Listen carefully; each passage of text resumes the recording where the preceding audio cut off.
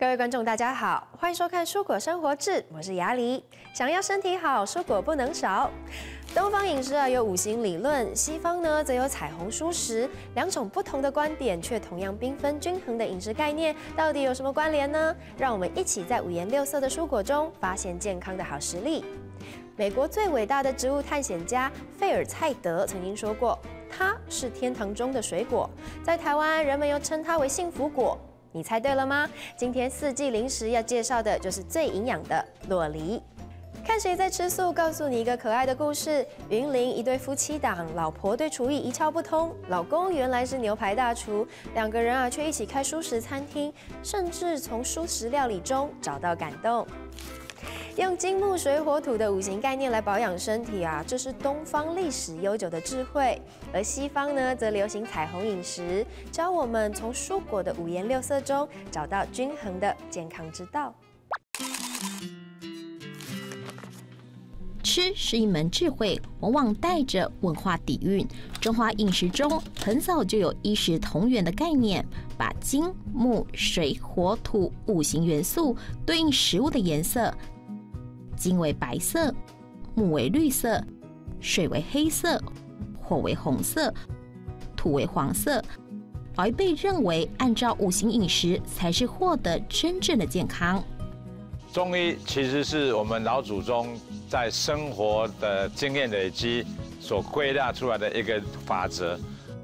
一与十的结合，在东方有五行概念，在西方医学之父波西克拉底也曾说：“你的食物就是你的药物。”近年来，从植物中获取营养的彩虹饮食也蔚为流行。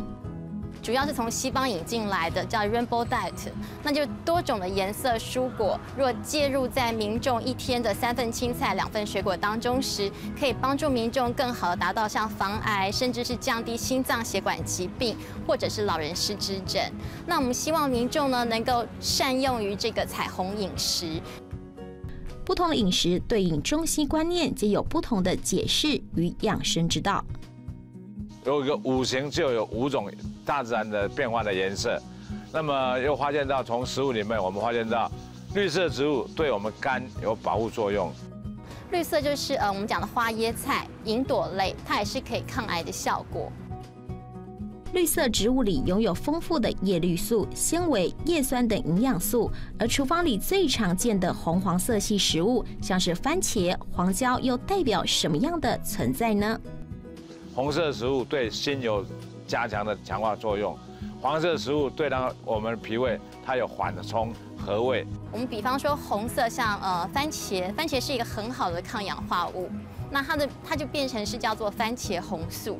那另外我们讲的话黄色就像玉米黄素，那大家最近常被炒作就对于眼睛很好啦，那它的黄色也是可以对照像中医的话是顾脾脏。番茄红素是强劲的抗氧化养分，能消灭体内不断制造的自由基，让身体能够延缓老化。另外，象征金的白色食物，依据中医的理论，能够除秋燥，并且对肺部有益。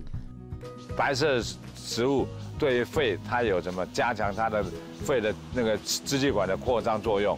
白色有在西方是讲像大蒜、大蒜素，所以蛮多这样中西的对照，其实还蛮好的。就是我们可以多一种丰富的呃来源，跟一些更多的知道怎么样顾照自己的健康啊。中国人俗谚有言：“大蒜上市，药铺关门。”俄国人则说：“大蒜是土地里长出来的抗生素，能够有消炎的疗愈力。”而代表五行中的水黑色食物又拥有什么样的力量呢？那么黑色食物可以让我们的肾脏获得滋养。中医理论是顾肾脏，那比方说像葡萄，好，它还有就是像花青素，或者是像蓝莓就顾眼睛。另外在吃法上面，彩虹饮食强调色彩丰富，而东方五行则是有一套相生相克的逻辑。那么我们讲说。五行相邻的就是相生，像木生火，火生土，土生金，金生水。可是跳过一个相邻的，它就是相克。您是否对于博大精深的五行饮食感到复杂难以实践呢？告诉你一个小秘诀，只要运用一点小智慧，就能轻易在生活中实践。我们在生活周遭就有豆科，就有有绿豆、红豆、黄豆、白豆、黑豆，就天然的五行它都都俱全的哈。那么其他的食材，那么一样可以找它的颜色跟它的味道来搭配这样五行的食材。另一方面，若是家里有挑食的孩子，营养师也要教您一个能够简单达成采用饮食的要诀。是现代人很多家长很爱小朋友，那小朋友偏食或挑食的问题时，其实也不用一定逼他一定要吃胡萝卜，或逼他一定要吃番茄。我们可以找出同样是红色的食物，但是他是可以接受的，因为毕竟在餐桌上是一个讲求爱的地方。其实，纵观中西观念，均衡饮食就是唯一的健康之道，因为唯有如此，才不愧对于天地的赐予。今天的封面故事人物雅里要为大家介绍一个人，他是陈明皇，也号称是保存原生种的保种达人。究竟保种和五行之间到底有什么关联呢？荒野间工作的农夫，他是陈明煌，一个推行有机农耕四十多年的农事专家，多年来研究作物与五行饮食之间的关系，同时也是一位尽力保存原生种的保种达人。以前我们台湾的土凤梨是又酸又甜，酸中带甜，所以它有很高的生物类黄酮，有很高的维生素 C。可是因为有些人怕吃酸，所以现在的物品种改良专家。就把我们的凤梨全部改到什么蜜凤梨啦、牛奶凤梨，改到一点都没有酸。当酸味降低的时候，相对的，它的维生素 C 也跟着降低。被改良的凤梨原生种的特性逐渐消失，同时也代表了失去五行饮食的平衡。五行的食物对肝酸的比较好，那你现在全部变成甜的，那么对于酸的反应刺激程度就降低。千万年来，农民留着自用便是一种习惯。但面对农业商业化的影响，不断推陈出新的改良品种，让不少原生种面临灭绝的危机。因此，保种是目前全世界都在推行的运动。我们在栽培作物有两分两个，一个叫用种子种的有性繁殖，繁殖；一个是不用种子用种段的，像高阶林那个叫嫁接，那叫无性繁殖。那么有性繁殖，它就靠种子。如果你没有把这个种源保保留住，哪一天一个意外灾害，种源没有了，这个物种就灭绝了。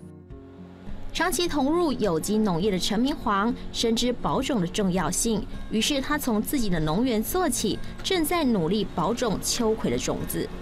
那我现在保种的，像秋葵来讲，秋葵它是锦葵科秋葵属的植物，它本身含有非常高的粘液值，秋葵种子就在这个种荚里面。那么每每一个种子每一道至少有二十粒以上，所以种荚熟了以后我采收，我并没有是把它剥出来晒，我必须把它整个种荚晒干，整个连种荚保留，到了要种的时候，我才把它把才把种子剥出来种。选择秋葵保种背后可是大有玄机，因为透过强壮的秋葵种子，竟然也可以减少农药的运用。那以这个来讲，这个秋葵就是我已经。留好的种，那么秋葵我像这个我就选好，选到它它什么？它的生长很强，那么它抗病虫力很好，所以它几乎不需要用农药。我们现在在提倡有机，它是最方便推广的一个植物。用最适合这片土地生长的原生种子种出的有机无污染作物，搭配着五行饮食养生概念，陈明煌小心翼翼关注自己所吃下的每一分食物，竟是他用健康换来的。四十年来坚持种植有机蔬果，是陈明煌老师对健康的深切体悟。由荤转素实施很多年了，也带给身体很大的改变哦。有机健康达人一开始却是不健康的。陈明煌早期的工作是一位业务，经常应酬，大吃大喝。没想到一场突如其来大病，让他开始正视健康，奠定后来投入农业的因缘。也因为他的父亲曾经在民国六十年代因为喷农药而中毒，所以他最后选择了有机农业。那因为每天要应酬。所以我在二十七岁的时候被医生宣布初级肝硬化。医生告诉我，所有的有毒的东西不能再进入身体，包括烟酒、包括肉品的毒，通通要排除，还有食物的一些添加物的毒。那一年起，他决定不再吃肉，由荤转为素。可是肉戒还不够，后来我我上网去查资料，我把鱼肉蛋奶全部暂停，因为这些东西都是高脂肪、高蛋白质，在我们身体里面，它会代谢会产生很多的酸，让我们血液变酸。陈明煌花了五年时光，才改善自己的健康状况，改变饮食，让他重获新生。真正的素食，它让我们身体重新细胞获得活化，免疫系统增强，我们对我们健康。是百分之百的加分。陈明煌曾说：“透过舒食，他不仅找回了健康，也让他回归了最简单的生活方式。”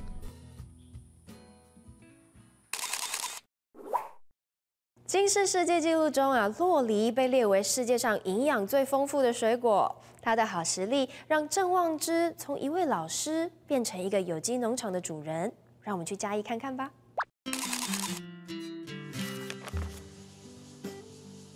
闷热的山谷中，郑旺之和孙子整理着洛梨园。曾经是老师的他，现在拿着剪刀，正在帮洛梨剪枝。而洛梨就是俗称的幸福果呢。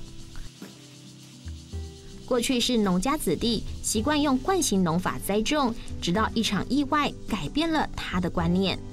惯性的常常要使用农药，会农药中毒。我也曾经中毒过一次。啊，到田里面工作啊。就喷完了药以后，觉得头晕晕的。因喷洒农药而中毒，让他决心用有机的方式种植洛梨，并且从育苗到结果不假他人之手。自己去买那个自己育苗，到八七年底，那个芽就长一个一大概三十公分左右了，我就把它移植到本田里面去。第二年的秋天呐，但差七八月的时候。我就开始嫁接，啊，所以我在第三年的时候，就慢慢有一点点收成，啊，就开始会开花会结果了，有一点点收成。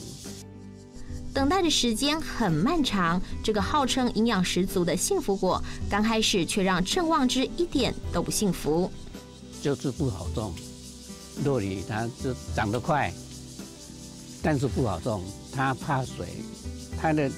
土壤它要那个沙子的土壤，河滩地啦、河边啦，比较有沙土的地方，排水良好的地方，它才会长得好。哎，就是它选地很严苛。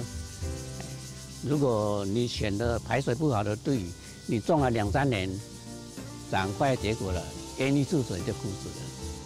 虽然一开始种植并不顺利，但是想起这个对身体有益的洛梨，郑旺之还是决定用有机的方式撑下去。嗯，大概分两大类，也就是青皮品种跟红皮的品种。那我们怎么样判判断怎么样可以吃呢？就是我们用手把它捏一下，啊，果实捏一下，感觉到有变软了，啊，有轻轻有点软的弹性了，就可以吃。它也就可以放到冰箱里面冷藏保鲜，大概可以把它保存到一个礼拜。如果你一时吃不完，也可以放到冷冻，可以冷冻个三四个月都没有问题的。结实累累的果实，这是农夫的用心换来洛里的反馈。郑旺之的坚持也迎来生命中的甜美滋味。梨的季节一到，郑大哥的餐桌上啊，天天都有洛梨，吃半年都没关系。到底他的餐桌上会出现哪种好料理呢？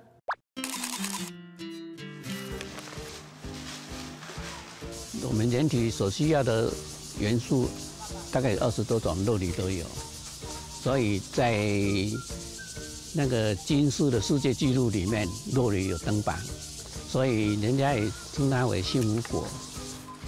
洛梨是营养价值高的果实，比普通水果多四倍卡路里，每天吃半个就可提供人体每日所需的维他命 A、C、E、鱼烟酸和叶酸及镁等等，加上高单位的不饱和脂肪酸，更是补脑的好水果。同时，洛梨作为料理也很多元。今天郑家媳妇也要告诉我们一个特别的洛梨吃法。我做的是盖饭，那就后来就加上我们的洛梨切丁跟火龙果切丁，他就把它撑盘起来，就做一道这个洛梨盖饭这样。天天与洛梨为伍的一家人，善用洛梨特性制作料理。除了洛梨盖饭之外，将吐司搭配火龙果，就可以化身成活力满满的早餐。我们是说早餐的话，是一般都是吃洛梨哈，打汁啊，啊跟那个有时候就是配那个三明治夹那个洛梨，跟红龙果这样，就这样是早餐的部分。啊，有时候就是说天气热，我们就做一些果冻啊，哈，啊，它冰在冰箱里面，它这样很凉，就在热的时候我拿来吃，就觉得很清爽这样。每个人的人生都有转弯的时候。原本是一个牛排大厨，变成素食料理大师；一个幼稚园老师，变成素食餐厅的经营者。美妙的转弯啊，带给这一对夫妇一个新的方向。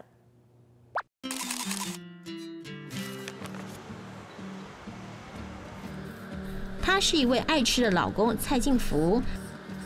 他则是一位对料理一窍不通的老婆张义珍，两人原本是不折不扣的荤食主义者，却因为一个意外，让张义珍从此不吃肉。因为他是以前是幼稚园老师，啊，我说是一个上班族。有一天在吃饭的时候，他是刚好把桌上的菜刚好刚好是夹到一块肉，啊，奇怪，差不多嚼咀嚼了两三次两三下子都。很莫名其妙的吐出来，嗯，奇怪，为为什么会会是这个样子？那我说，他是觉得说啊，好像吃对于这种肉吃不下去。原本是幼稚园老师的张义珍，连荷包蛋都不会煎，但却因为吃素之后，素食餐厅太少，所以兴起了自己经营素食餐厅的念头。刚开始他，呃，他有点在嘲笑我，就说。一个礼拜要做起来，一个做起来，真的很可笑。那时候也有冲着一股气说：“我就做给你看。”对，没想到说，哎，一做之后生意很好。张艺珍原本从最基本的料理功夫开始学起，从旁教导老公，最后因为看不下去，只好陪着老婆一起投入。过去曾经在牛排店工作的蔡进福，虽然拥有料理经验，但是一开始却抓不到素食的诀窍。当初要转到素食这个行行业的话，其实也不是很了解或是很懂，多多少少都会去问一些吃素的人啊，都必须经过漫长、慢条斯理的去摸索。哦，我们也是从一家小小的面摊店，哦，啊，经过慢慢的转变，啊，慢慢的试，光一个面线就要煮十几次呢，吃从没有要去想出来的东西。是你无从着手的那种那种东西做出来的是别有味道的。不顺遂的过程让夫妻俩伤透脑筋，蔡金福的内心也有过质疑和挣扎。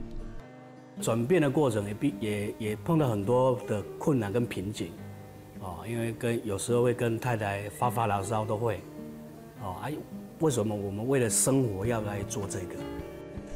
一次又一次的挫败，磨练出一种意志，加上客人的真心回馈，让夫妻俩决定继续推广熟食。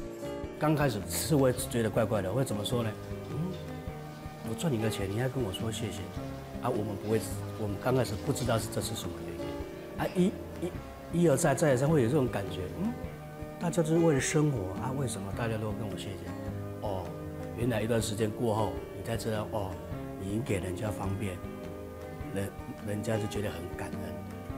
做吃的真的很辛苦，但是看到客人给你的鼓励，你就会很开心。有时候那些很辛苦的那些都都都不不会去在意了，对，因为呃客人的认同我觉得很重要。然后客人就是觉得，哎，你提供了素食给我们，很方便他们，那很感恩的这样，你会你也会很感谢他们。他改善了我的生活。可是呃还我也提供给客人客人也很感谢我所以我我觉得哎我那里做寿喜料我干嘛做上面摆几种就是呢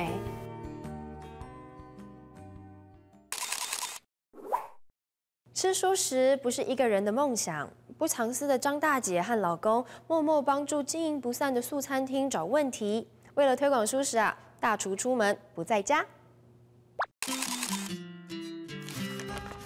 过去在云林地区开素食餐厅的人很少，所以想要用素食料理吸引荤食的客人，实在有难度。因此，张义珍和蔡进福想了又想，考量素食者的需要之后，决定用香草作为主题。长期吃素的，他们可能体质会比较冷、比较寒。那呃，香料这个东西，它其实是可以让呃身体是可以呃温和的，它也不会很燥热。被羞涩，啊也不会冷，这样，所以我还蛮跟客人，就是特别提到说，这个是可以综合身体状况我。香料香料的素食料对香价是一种挑战，因为从来没有过，我们也不知道从何学习。最后还是靠着毅力，夫妻俩解决了所有问题。他们更希望利用餐厅闲暇之余，将自己的经验分享给其他同样经营素食餐厅的业者，希望能够给予其他人鼓励和信心。那我们就一步一步跟着我太太，哎，慢慢去了解什么跟什么东西是搭起来是比较，人家说较好食，啊，较好食，更袂伤身体，哦，啊，袂伤身体个能够对。对这个地球和环境有所帮助。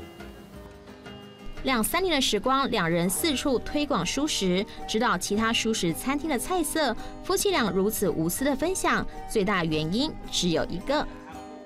因为我来到云林，我发现云林是好地方。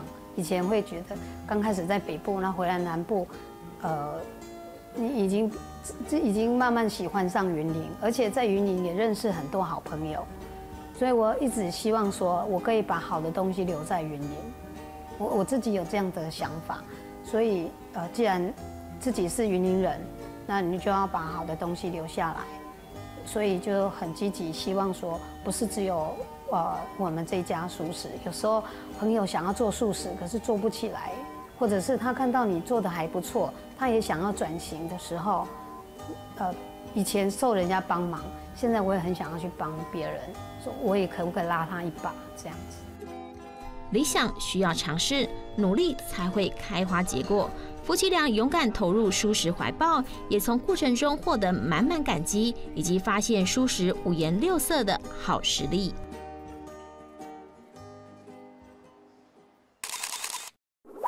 是东方的五行蔬果，还是西方的彩虹饮食，方法与颜色各有不同。其实啊，都是为了告诉大家不要偏食，要重视饮食的均衡，要拥有健康的生活，就从吃对的食物开始。蔬果生活志告诉您蔬食大小事，我们下次见哦。